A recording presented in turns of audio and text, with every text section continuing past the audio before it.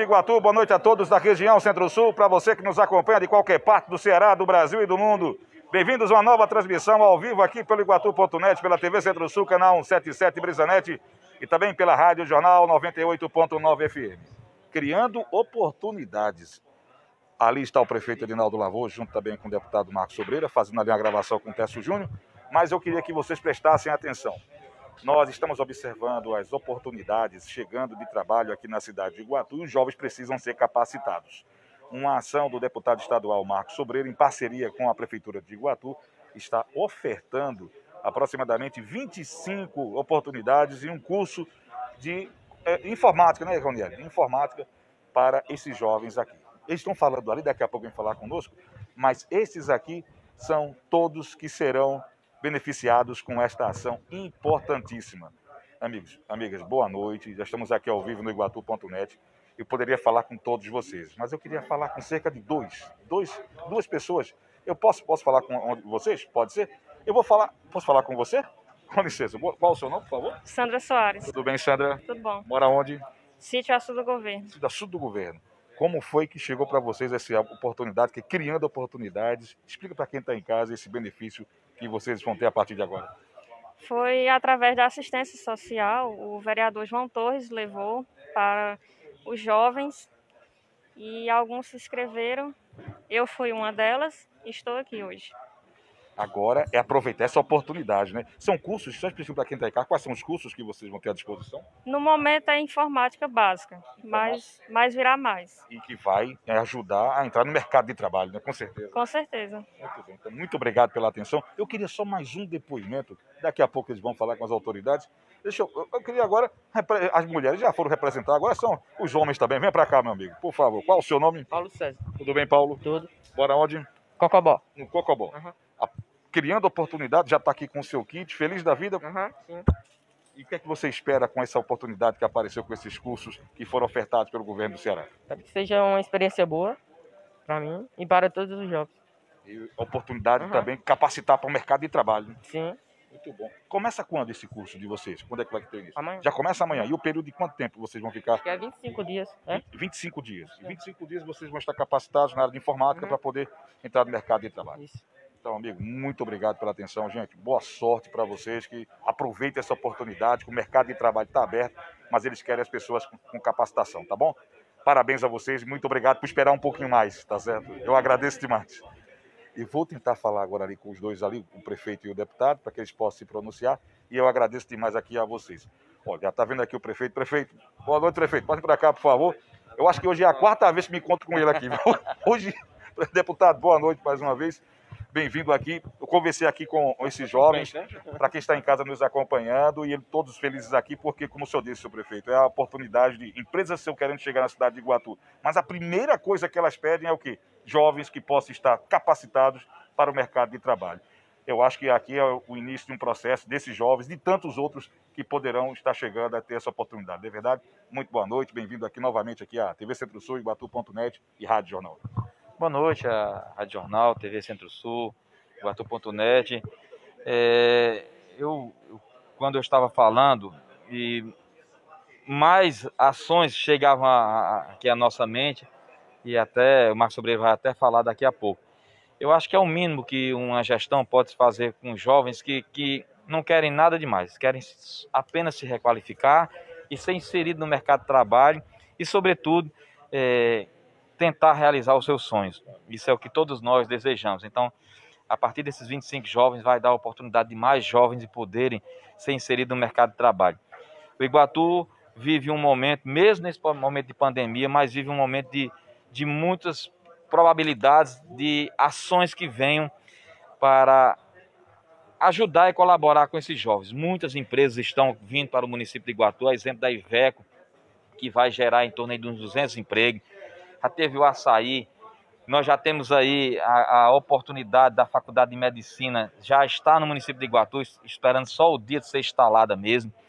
E aí, quantas e quantas empresas, a Transnordestina que está passando por aí, mas as empresas que querem montar o Porto Seco aqui no município de Iguatu, vai com certeza precisar dos jovens que tenham qualificação. E esses cursos vai dar essa oportunidade. Então, esse nome Criando Oportunidade é justamente isso fazer com que os jovens possam acreditar no projeto. Muitas vezes os jovens querem, querem se aperfeiçoar, mas não têm a condição. E esses cursos vai dar essa oportunidade de você, na hora que for entregar um currículo a uma determinada empresa que está sendo instalada no município de Iguatu, aí essas empresas vão perceber que esses jovens já estão qualificados, esses jovens, esses jovens têm sim como estar naquela empresa e pode crescer dentro da empresa. Então, eu acho que esse trabalho que o Marcos Sobreiro, o governo do estado e o município de Iguatu está fazendo, ela vem muito a calhar nesse momento e espero que venham mais oportunidades, que venham mais cursos e que a gente possa inserir cada vez mais esses jovens no mercado de trabalho que é o que todos querem, com certeza. Eu sei que eles estão ali observando as suas palavras, seu prefeito, e também do seu que vai ser agora, seu deputado. Mas eu disse aqui a eles, aproveitem essa oportunidade, porque o mercado de trabalho está aberto, mas o que eles estão querendo? Capacitação, né? que possam os nossos jovens, os nossos adolescentes estarem capacitados. Deputado, hoje eu não sei como é que ele aguenta, porque hoje eu fui de barro alto, foi no alto e plano, chegou ali na rotatória, ele continuou também. Eu estou aqui já respirando já lentamente. Mas, deputado, bem-vindo mais uma vez. Acho que o senhor vai falar desse curso e também daqui a pouco vou tocar no assunto com vocês, porque o governador Camilo Santana hoje fez vários anúncios e que inclui Iguatu também, não é verdade? Mas inicialmente, criando oportunidades. O que é que o senhor conseguiu aqui junto com o governo do estado e o prefeito aqui de Iguatu? Muito boa noite. Boa noite, boa noite, Alex, todos os internautas. Eu acho que é uma grande parceria do governo do estado com a prefeitura. Hoje, 25 jovens vão ter a oportunidade de se qualificar. A gente sabe que o mercado de trabalho é disputadíssimo. A gente sabe da dificuldade de se conseguir um emprego, não no Iguatu, no Brasil inteiro. E cada empresa que vai pegar um currículo vai olhar o histórico, vai olhar a qualificação, e com certeza, com a qualificação técnica, com curso profissionalizante, com o certificado do governo do Estado, vai dar um empurrão a mais, vai dar uma facilidade a mais para conseguir adentrar no mercado de trabalho. Hoje é um curso inicial com 20, são 25. Nós temos mais dois projetos já engatilhados aí, mais um do Criando Oportunidades, mais um do Primeiro Passo. A nossa ideia nesse semestre dar uma oportunidade a mais para pelo menos 100 jovens iguatuenses. Óbvio que isso vamos tentar fomentar, vamos tentar aumentar para que se conquiste mais, que Iguatu é um município grande, é um município de mais de 100 mil habitantes. Ainda é um número pequeno, mas é um passo inicial para a gente tentar dar uma força.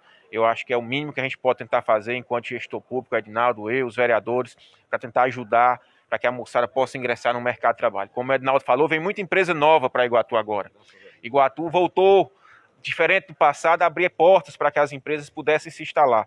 E essas empresas vão precisar de profissionais capacitados, habilitados, e com certeza esse caminho aqui, eu não tenho dúvida que facilitará ingressar nesse mercado de trabalho. Então começa com 25 perspectiva de aumentar. Eu estou percebendo pelas suas palavras que existe essa possibilidade de chegar até 100 jovens. Essa primeira turma são 25. Qualifica os 25, mas nós temos aí dois projetos do Criando Oportunidades para vir para Iguatu e outro projeto de outro programa também de qualificação profissional que é chamado Primeiro Passo que é um projeto do governo do estado, da SPS, Secretaria de Proteção Social. Então, esses dois projetos juntos aqui são quatro turmas de 25, ao todo dá 100 jovens, pelo menos até o final do ano. Mas óbvio que nosso trabalho será fomentar, aumentar e extingar para que venha muito mais. Muito bem. Então, aproveite a oportunidade. Eu, eu, vou fazer o, o, seguinte, eu vou continuar com eles aqui, porque chegou aqui a nossa primeira-dama também, Eliane Braz. Boa noite, primeira-dama. Mas vocês já podem se retirar e parabéns a vocês, que Deus abençoe a vocês e aproveita a oportunidade. Começou com o pé direito, pode ter certeza. Eu vou continuar aqui a entrevista com eles aqui. ter a oportunidade de um dia numa empresa chegar e você olhar, um de vocês olhar para mim e dizer, não, eu estive naquele curso. Isso vai acontecer, pode anotar que isso vai acontecer. Vamos lá, deixa eu aproveitar aqui. É, mais para cá, não, é perfeito. Vou, obrigado, obrigado, Marquinhos. Deixa eu passar para cá, porque eu sei que hoje a gente não pode fazer essa transmissão aqui sem falar do anúncio que o governador Camilo Santana hoje fez, que colocou Iguatu com benefícios eu não sei com quem eu posso conversar aqui, com o senhor, o seu prefeito, com o deputado também. Mas, pronto, então, deputado, primeira dama, rapidamente. Mas hoje, o senhor falou numa entrevista conosco na Rádio Jornal, Alex, vai sair, vamos recapear da Vajota até Suaçurana. E hoje o, o governador Camilo Santana confirmou, né? Graças a Deus, eu acho que é uma parceria. Esse trabalho, licença, Kelly. Esse trabalho, essa, essa primeira parceria começou na nossa reunião, minha, do prefeito Ednaldo com o governador, há pouco mais de 30 dias, 20 dias atrás. E foi um pedido do Edinaldo ao Camilo, que realmente está intrafegável lá, já foi feito tapa-buraco, é um enxuga-gelo, não tem mais como melhorar o que está lá. E ele já tinha autorizado, me ligou há 10 dias atrás, dizendo está autorizado, vai começar, eu vou dar ordem de serviço. Nós falamos ao vivo no seu programa, em primeira mão, para anunciar essa conquista. E hoje ele confirmou aí, lançou um pacote de obras, não na região, pacote de obras no Ceará inteiro. Então vai reformular a malha viária do Ceará inteiro. Iguatu foi contemplado com alguns trechos, não só no município. No município nós temos dois diretamente, que é de Vajota, a Suaçurana, e do Antonico do Quixelô até o Cavaco, que pertence a Iguatu. Mas de trechos de acesso, de trechos de acesso, como Quixelô Solonópolis, de quem vem na região, Iguatu Vaze Alegre, na outra localidade, na região de Umaria, aqui pertinho de Icó também. Então são trechos de acesso a Iguatu, que quem vem, de qualquer lugar que venha, São Sebastião Tarrafas, então que pega toda a nossa região. Aqui também no município de Jucás, saindo da entrada da, da Canafístula, passando por São Pedro, até a Canafístula, me desculpe, da entrada da CE, São Pedro Canafístula, então trechos de acesso da região que serão requalificados. Então, com certeza, a gente entende que tem mais trechos, tem muita cobrança, como a Estrada do Alencar, a Estrada do Baú, nós não esquecemos não, vamos continuar cobrando. A Estrada do Alencar, eu quero daqui a pouco anunciar, junto com o prefeito também, foi outro pedido, o Camilo já sinalizou, já sinalizou favorável também, a gente, se Deus quiser, nos próximos dias, já diz uma data, e o prefeito vai dizer uma data aí, e vem muita coisa boa, se Deus quiser, e vem mais um pacote de obras, se Deus quiser, a gente tem nos próximos 15 dias, mais uma conversa com o Camilo para um pacote de obras para Iguatu, do governo do estado, já se somando a todas as obras, como emenda do deputado Domingos Neto, projeto da CAF, recurso próprio que o município tem usado. Então, como o Ednaldo falou, até o próximo ano vai ser muita obra para que Iguatu cresça, se desenvolva, que é o que nós queremos. Acho que tem que fazer a pergunta que eu acho que todo mundo quer fazer ao senhor deputado e também ao senhor prefeito. Lá na Vajota, começa quando? Porque o homem já anunciou, já está lá registrado. Agora, quando é que a gente vai ver as máquinas já atuando ali na região da Vajota, que é que eu estou recebendo de perguntas pela, pelo Iguatu.net. É verdade, é um trecho, assim, eu peço assim, um, até um pouco de paciência para responder essa pergunta. Eu tive hoje em reunião com o superintendente da SOP por telefone. Na verdade, é um grande pacote de obra, né? Um grande pacote de obra que vai chegar. É o Ceará inteiro. O Suaçurã está incluso no trecho, é o Ceará inteiro. Mas nós estamos trabalhando, e eu quero dizer para vocês até amanhã a data, o horário que o maquinário chegará em, em Vajota e irá até Suaçurana. O Ednaldo acompanhou de perto todo esse, esse, trabalho, vem cobrando. A gente entende que, a gente sabe, não tem como começar o Ceará todo.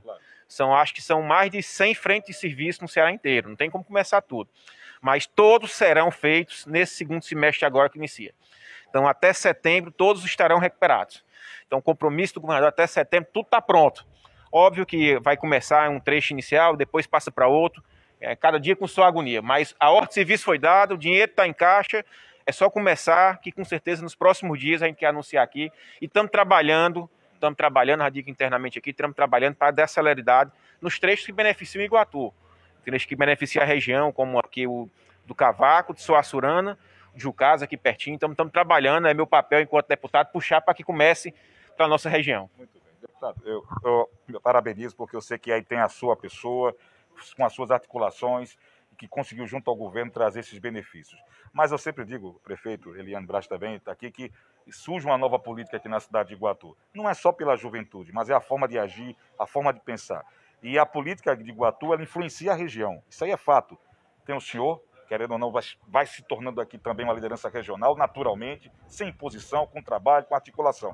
Tem o Edinaldo, que depois da última eleição se tornou mais do que nunca a maior liderança política, não só de Iguatu, mas de toda a região. É fato, não tem que se discutir.